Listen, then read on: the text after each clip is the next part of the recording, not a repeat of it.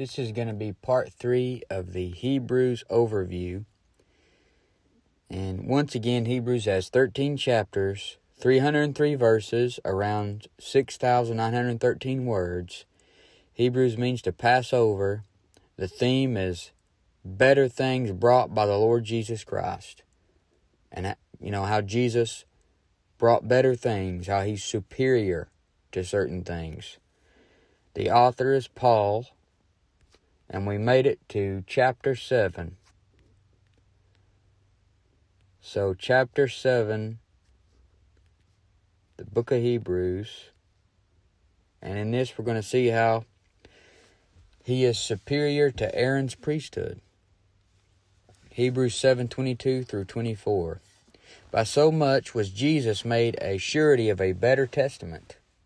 And they truly were many priests, because they were not suffered to continue by reason of death. But this man, because he continueth ever, hath an unchangeable priesthood.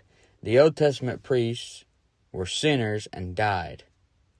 Jesus Christ, our high priest, is so much better because Jesus Christ is sinless.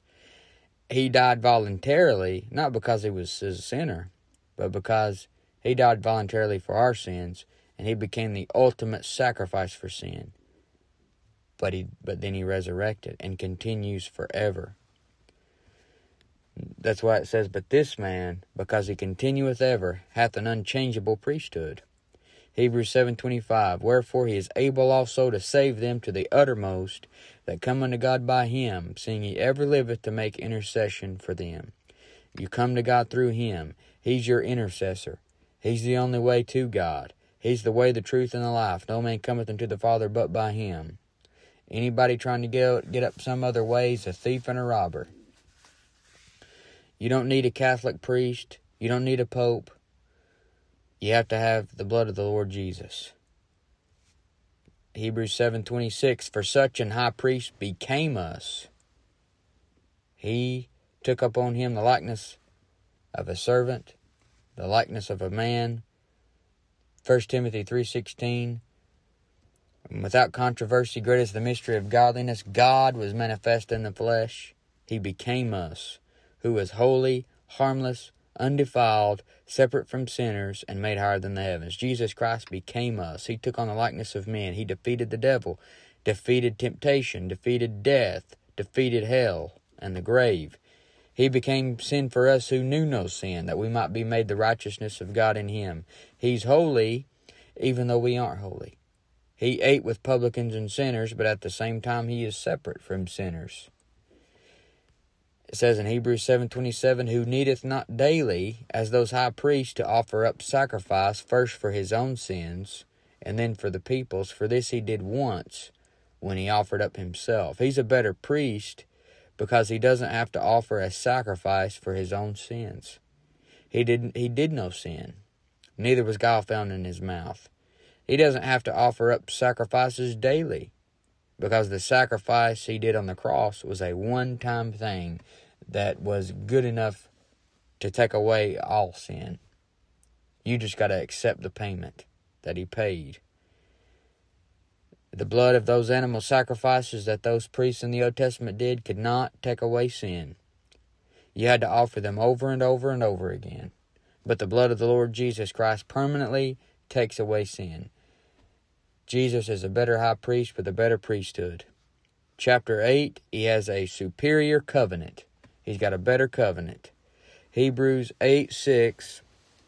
But now hath he obtained a more excellent ministry He's got a more excellent ministry. But how much also he is the mediator of a better covenant. He's got a better covenant, which was established upon better promises. Remember the theme of Hebrews? Jesus bringing better things.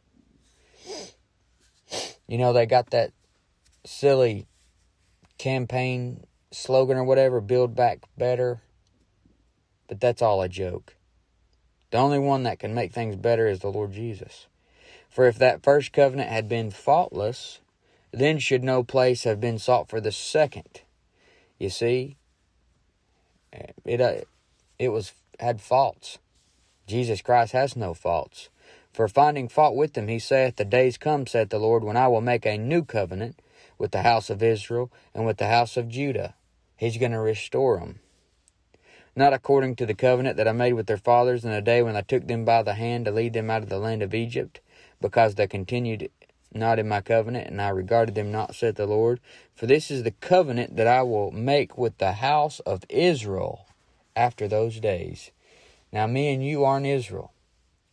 So, why in the world would somebody think that we have replaced Israel when he's going to make a new covenant with the house of Israel?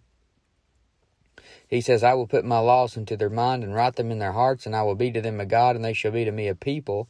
And they shall not teach every man his neighbor, and every man his brother, saying, Know the Lord, for all shall know me, from the least to the greatest. Now, obviously, this is future. How can you say that this has already happened? This is future, and he it shows he's going to have a new covenant with the house of Israel in the future. So this shows that God's not done with Israel, even though right now they're blind in part. For the most part, Israel rejects Jesus Christ. They don't believe he's got he was God manifest in the flesh. They don't believe he's the Son of God at all. But there's going to be a time when they do. They're going to be restored. They're going to know Jesus is who he says he is. And they're not going to have to teach every man his neighbor and every man his brother, saying, Know the Lord. All's going to know who Jesus is from the least to the greatest because he's going to be sitting on a throne in Jerusalem, and everybody's going to be able to walk up to him and see him. He says, For I will be merciful to their, to their unrighteousness, and their sins and their iniquities will I remember no more. So he's going to put all that that they did in the past. He's not going to remember it no more. Just like he does for us. The moment you got saved, your sins and iniquities he'll remember no more. In that he saith the new covenant, he hath made the first old, now that which decayeth and waxeth old is, is ready to vanish away.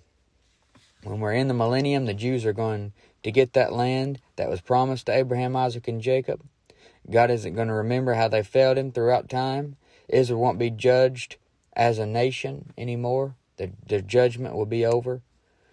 You see, they go through the judgment of the tribulation. The tribulation is God's judgment on Israel. That's why it's called the time of Jacob's trouble. And you won't have to go around saying, believe on the Lord Jesus Christ, because everybody will know who Jesus Christ is and what he stands for. It's going to be very made very clear what's re- required of them. Jesus has a better covenant, a superior covenant. He's going to make a new covenant with the house of Israel. And chapter 9, he's got superior blood. Hebrews 9 11 through 12. But Christ, being come an high priest of good things to come, by a greater and more perfect tabernacle. So he's got a greater and more perfect tabernacle, not made with hands. That is to say, not of this building. You know, this is a heavenly one. Neither by the blood of goats and calves, but by his own blood. Acts 20 28 says he purchased us with his own blood. But by his own blood he entered in once into the holy place, having obtained eternal redemption for us. So the blood of those bulls and the goats can't take away sin. When those people sacrificed those animals, shed their blood, all those things were just pictures and types of Jesus Christ, the Lamb of God that takes away the sin of the world. But they could never make anybody perfect. Hebrews 9:13 For if the blood of bulls and of goats and the ashes of an heifer sprinkling the unclean sanctify to the purifying of the flesh, how much more shall the blood of Christ? You see, the blood of Christ does so much more, who through the eternal Spirit offered himself without spot to God, purge your conscience from dead works to serve the living God. If the blood of bulls and goats can give temporary forgiveness of sin in the Old Testament, how much more do you think the blood of Jesus Christ can do? It not only saves your soul, but it can purge your conscience from dead works to serve the living God. When you mess up in sin, you can just go to God, confess it, forsake it. If we confess our sins, He's faithful and just, forgive us our sins, and cleanse us from all unrighteousness. The blood of Jesus Christ, His Son, cleanses us from all sin. Come confess your sin, and in the sense of a, a daily cleansing, He He the blood can do wonders for you, and you can go right on serving. Hebrews 9 16 through 17. For where a testament is, there must also of necessity be the death of the testator. That's Jesus. For a testament is of force after men are dead. Otherwise, it is of no strength at all while the testator liveth. These two verses explain how the New Testament did not actually officially begin until the death of the testator. That is the Lord Jesus Christ. So when you go back there and read the Gospels, you're reading in Matthew, it's in the New Testament part of your Bible, but since the a testament is not a force after men are dead, it is of no strength at all while the testator liveth, the New Testament doesn't actually start in Matthew until Jesus dies on the cross. The New Testament doesn't officially start in Mark and Luke until Jesus dies on the cross. Hebrews 9:24 For Christ is not entered into the holy places made with hands, which are the figures of the true, but into heaven itself, now to appear in the presence of God for us. Jesus Christ didn't take his blood into the holy places on earth that are made with men's hands. He went up to the third heaven into those, into those made without hands, those places made without hands. And those ones down here just picture the, the real thing. But Jesus went into heaven itself, and he appeared in the presence of God for me and you. He is a better high priest. Hebrews 9.25, Nor yet that he should offer himself often, as the high priest entereth into the holy place every year with blood of others. The high priest had to go in there many times with the shed blood of those animals. It was a never ending cycle. Your sacrifice was only good then until sin came up again. But with Jesus, it's a one time thing. Hebrews 9.26, For then must he often have suffered since the foundation of the world. But now once in the end of the world hath he appeared to put away sin by the sacrifice of himself. Jesus Christ was manifested to take away our sins. That's why he came. He came down to put away sin by the sacrifice of himself. Says in Hebrews 9:27, and as it is appointed unto men once to die, but after this the judgment. So Christ was once offered to bear the sins of many, and unto them that look for him shall he appear the second time without sin unto salvation. He once suffered for the sins of many, once suffered. He didn't have to do it more than once. It was a one time thing that he died for the sins of many. Many being everybody. You say, well, many doesn't sound like everybody. Well, everybody's many, ain't they? If you put everybody ever together, that's many people. Chapter 10, you got a superior sacrifice. Jesus is the superior sacrifice, Hebrews 10 1 through 4. For the law having a shadow of good things to come, and not the very image of the things, can never with those sacrifices which they offered year by year continually make the comers thereunto perfect. See, those sacrifices they did in the Old Testament wasn't doing any good when it came to getting their sins cleared. For then would they not have ceased to be offered.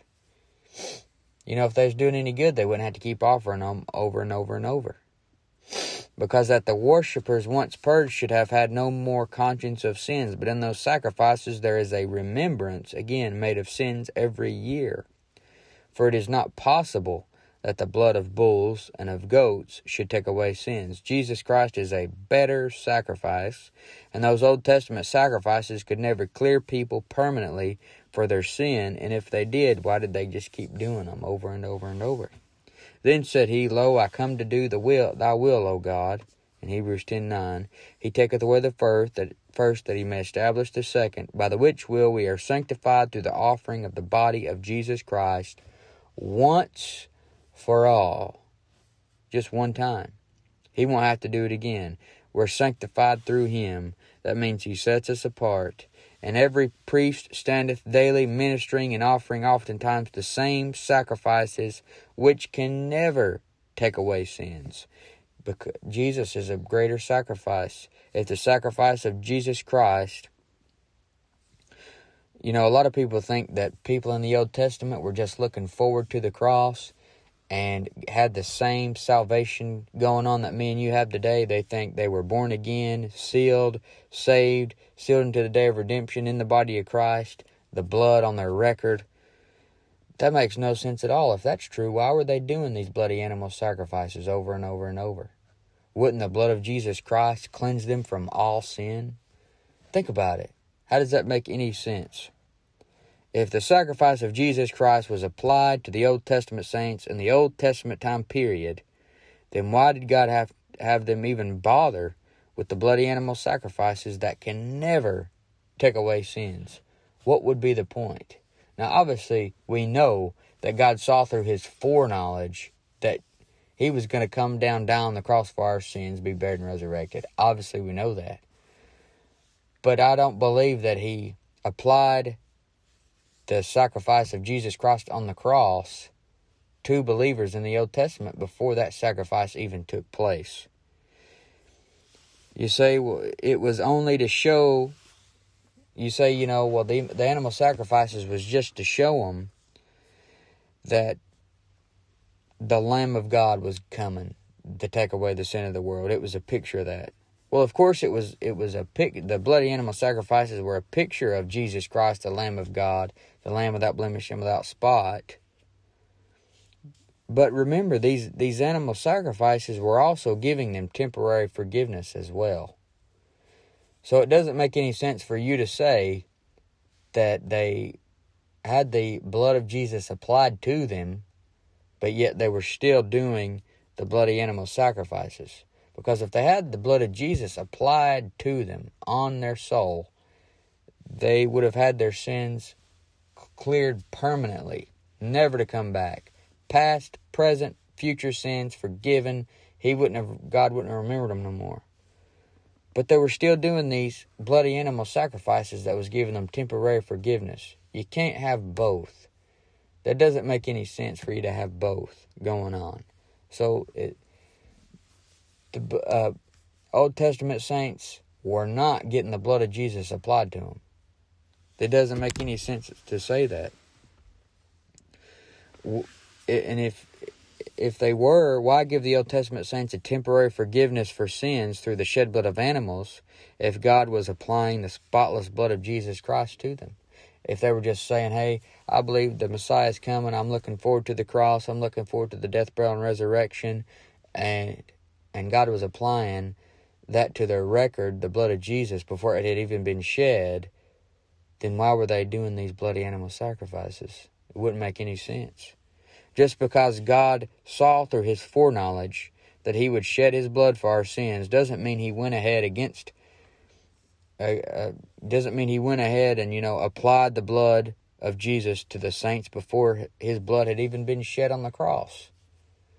You know, if you say that they had the blood of Jesus, you're applying the blood of them the blood of Jesus to them before the blood had even been shed. Hebrews 10 12 through 14. But this man, after he had offered one sacrifice for sins forever, one sacrifice for sins forever, sat down on the right hand of God. The priest back then didn't sit down because he was never finished. Jesus Christ said, You know, it's finished. He finished it. And he sat down on the right hand of God. From henceforth, expecting till his enemies be made his footstool, for by one offering he hath perfected forever them that are sanctified. When it comes to my standing in Christ, I am perfected forever. I'm sanctified. Now the just shall live by faith, but if any man draw back, my soul shall have no pleasure in him. But we are not of them who draw back unto perdition, but of them that believe to the saving of the soul. Those who draw back unto perdition are those who, in the tribulation, take the mark of the beast, they fall away. They worship the beast in the tribulation, who's called the son of perdition. They're the ones who draw back into perdition. Chapter 11 Jesus is superior to their Old Testament heroes. You know, some of those Old Testament saints are my heroes. You know, people like Superman, they like The Flash, they like Batman, they like Green Arrow, they like all these superheroes, but I like those Old Testament heroes. But Jesus is also better than the Old Testament heroes in chapter 11. You call this the Hall of Faith. Many people do. I've always, when I read this, I imagine like I'm going walking down a hallway and I'm seeing a picture of Abraham over here. I'm seeing a picture of Enoch on the wall over here, and a little description under their picture of what they've done. But then at the at the end you get to the Lord Jesus Christ, the biggest picture, the greatest achievement. He is superior to the Old Testament heroes. And you also see a superior country in this chapter. But Hebrews 11.1, 1, Now faith is the substance of things hoped for, the evidence of things not seen. So faith is the substance of things hoped for, the evidence of things not seen. And today in 2 Corinthians 5 7, for we walk by faith, not by sight. You wonder why don't we have miracles today? Why doesn't God just uh, show his face in the clouds and show me that he's real? Well, we walk by faith, not by sight. In John 20, 29, Jesus saith unto him, Thomas, because thou hast seen me, thou hast believed. Blessed are they that have not seen and yet have believed.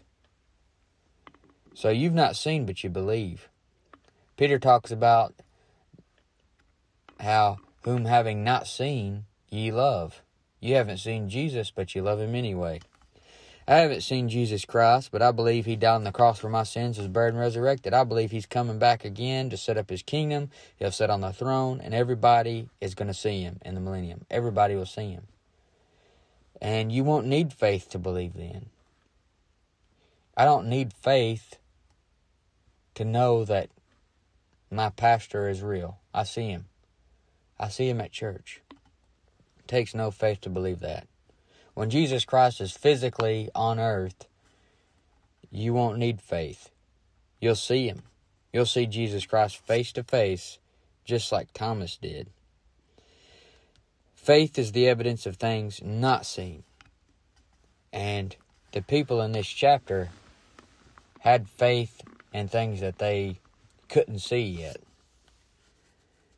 in he- Hebrews 11:3 through faith we understand that the worlds were framed by the word of God. I go out and I look around and I, I think of that verse in Romans where it says, For the invisible things of him from the creation of the world are clearly seen, being understood by the things that are made, even his eternal power and Godhead, that they are without excuse. The, in, the invisible things that I can't see are pictured by what I can see. I can look up at the sun the sun rises just like the S-O-N sun rose. You know, the the world's the world shows me he's real. Through faith we understand that the worlds were framed by the word of God. I go out and I look up at the stars at night and I believe by faith God made that. So that the things which are seen were not made of things which do appear. The he- you see, the heavens were framed by the word of God. He spoke the world into existence. He's before all things, and by him all things consist. In John 1 1 through 3, it says, In the beginning was the Word, and the Word was with God, and the Word was God. The same was in the beginning with God. All things were made by him, and without him was not anything made that was made. He made it all. And I believe that he did through faith. I believe it. This is the faith chapter. It goes into the faith of all these Old Testament heroes, but there is a better hero. Hebrews 11:4 By faith Abel offered unto God a more excellent sacrifice than Cain, by which he obtained a witness that he was righteous, God testifying of his gifts, and by being dead yet speaketh, by he being dead yet speaketh. You see, Abel bought, brought a bloody animal sacrifice, Cain brought the fruit of the ground. Jesus Christ is an even more excellent sacrifice than what Abel brought. He brought his own blood, God's blood. Hebrews 11:5 By faith Enoch was translated that he should not see death and was not found because God had translated him. For before his translation he had this testimony that he pleased God because he had faith. Enoch walked with God.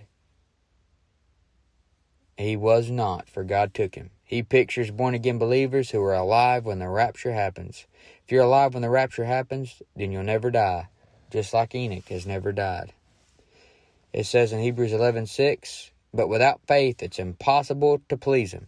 For he that cometh to God must believe that he is, and that he is a rewarder of them that diligently seek him. By faith Noah being warned of God of things not seen as yet. So he was warned of God of things not seen as yet. I mean, it had never rained before.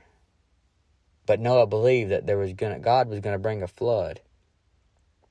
And he was moved with fear, prepared an ark to the saving of his house, by the which he condemned the world and became heir of the righteousness which is by faith. Noah had the fear of the Lord, and that is what moved him to build the ark. He had faith that the Lord really was going to bring a flood, even though it hadn't ever even rained. By faith, Abraham, when he was called to go into a place which he should after receive for an inheritance, obeyed, and he went out, not knowing whither he went. By faith, he sojourned in the land of promise as in a strange country, dwelling in tabernacles with Isaac and Jacob, the heirs with him of the same promise. For he looked for a city which hath foundations, whose builder and maker is God. He wasn't looking forward to the cross, he was looking for a city. By faith, Moses Hebrews 11:24 By faith Moses when he was come to years refused to be called the son of Pharaoh's daughter choosing rather to suffer affliction with the people of God than to enjoy the pleasures of sin for a season Moses could have been a top dog and enjoyed the pleasures of Egypt but he chose to do what the Lord said instead By faith he forsook Egypt not fearing the wrath of the king for he endured as seeing him who is invisible Notice it only tells you the good things about these characters here. It doesn't tell you about Abraham laughing at what God said or Sarah laughing at what God said. It doesn't tell you about, you know, Moses being afraid at first. It only tells you about the good things because God's wiped all their sins away. Chapter 12, you got a superior father. Hebrews 12:1 Wherefore seeing we also are compassed about with so great a cloud of witnesses, let us lay aside every weight and the sin which doth so easily beset us, and let us run with patience the race that is set before us. You see, when you're carrying around your pet sins, you aren't laying aside every weight and sin. It's like a marathon runner carrying a backpack full of bricks. It's hard to run the race that way.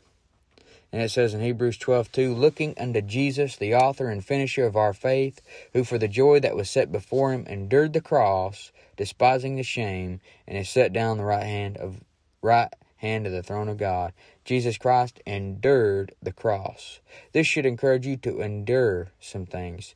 Endure hardness as a good soldier of Jesus Christ. Take up your cross daily and endure the cross. And ye have forgotten the exhortation which speaketh unto you as unto children. My son, despise not thou the chastening of the Lord, nor faint when thou art rebuked of him. For whom the Lord loveth, he chasteneth, and scourgeth every son whom he receiveth. If ye endure chastening, God dealeth with you as with sons. For what son is he whom the Father chasteneth not? But if ye be without chastisement, whereof all are partakers, then are ye bastards and not sons. Furthermore, we have had fathers of our flesh which corrected us, and we gave them reverence. Shall we not much rather be in subjection to the Father of spirits and live? You see, growing up, you had a father that you feared. You feared when he got that belt out. You feared when he got the paddle out. How much more should you fear your heavenly Father? And the chastening he gives you is a good thing, and it should make you want to do better, not rebel, not despise it. When God chastens you, don't count it as a bad thing. The chastening of the Lord is what keeps you in line. And the scariest thing that can happen to a Christian is for God to just leave him alone and not chasten him. Imagine if a parent left their child alone and let him do whatever he wanted without getting checked. How, do, how would he usually turn out if that happened? He would turn out not so good. The Lord is a superior father. If you can obey your earthly father, how can you not obey your heavenly father? Chapter 13 A Superior Lifestyle. As a believer of the Lord Jesus Christ, you are called to live a better lifestyle. Jesus did a much superior lifestyle. Hebrews 13:2 Be not forgetful to entertain strangers, for thereby some have entertained angels unawares. If you can entertain angels unawares, then you're most likely entertaining a lot of things unawares. Even lost souls who are watching you. You can entertain angels unawares because they look just like regular men. When an angel shows up in the Bible there, they're called men or young men or young man, and they don't have wings and they don't have halos and they're they're men but they're angels. And you can entertain them unawares. And you are, can be in your room and you think you're alone, but you're not alone. There's spirits in there. The Lord's eyes are in there. Somebody maybe even be looking at you, another person, and you don't even know about it. You need to have a superior lifestyle than the lost world because Jesus did. Says in Hebrews 13, 4 through 5, marriage is honorable in all, and the bed undefiled, but whoremongers and adulterers God will judge. Are you going around and, and committing adultery and being a whoremonger? And then it says, Let your conversation be without covetousness, and be content with such things as ye have. For he has said, I will never leave thee nor forsake thee. You need to put these things away. Have a superior lifestyle, a better lifestyle. If your conversation is without covetousness, then that means your manner of life is a life of being content with such things as you have. And, the, and Paul said, godliness with contentment is a great gain. And if you're content with your wife, then your the marriage bed is undefiled. You are enjoying it with the wife that is yours and not somebody else's wife. And if you stick with the wife that is yours, then you're being content with such things as ye have. And since the marriage bed is, undefi- is undefiled and honorable in all, godly, you, you got godliness and contentment. It's your wife is yours and you're content with her. Godliness with contentment is great gain. People are so discontent with their spouse why do you think the Bible says for a woman to be in subjection to her own husband? Because they have a tendency to want somebody else's. It says, uh, talks about men, says, men love your wives, be not bitter against them. You know, people have a tendency to want everybody else's wife. People have a tendency to want everybody else's husband.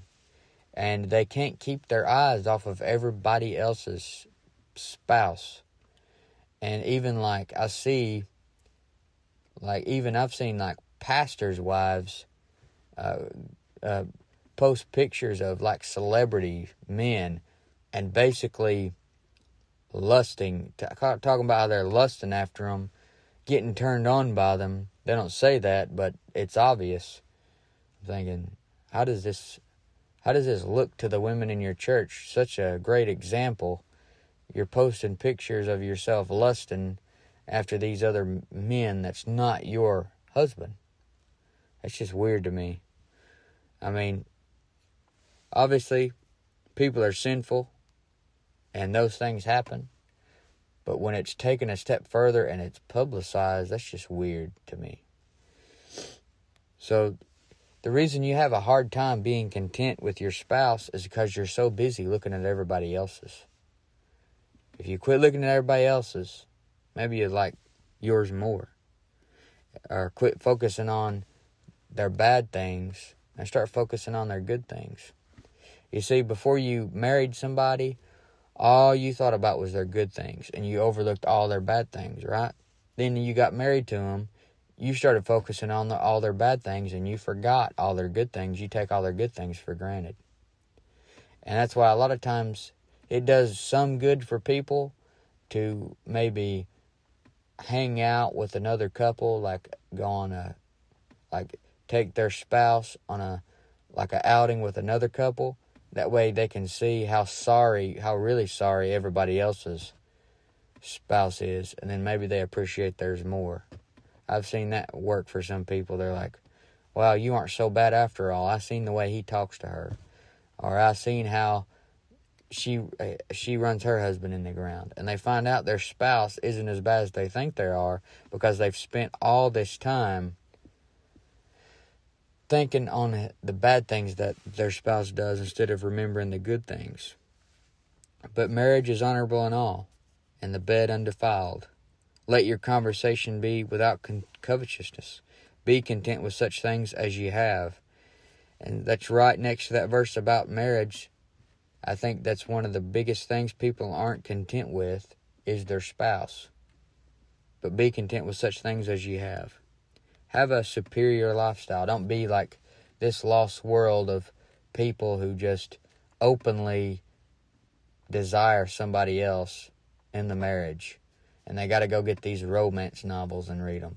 They got to watch these shows that have some stud on there so they can dream about him because they just hate their husband so much. You know, be content with such things as you have and have a better lifestyle. Jesus had a better lifestyle than everybody else. He did no sin, neither was gall found in his mouth. For he hath made him to be sin for us who knew no sin. For we, for we have such an high, high priest who became us, who is holy, harmless, undefiled, separate from sinners. He was in all points tempted like as we are, yet without sin. He had a better lifestyle. He's superior all the way around. That's what the book of Hebrews is about. Jesus bringing in better things, being superior to everything.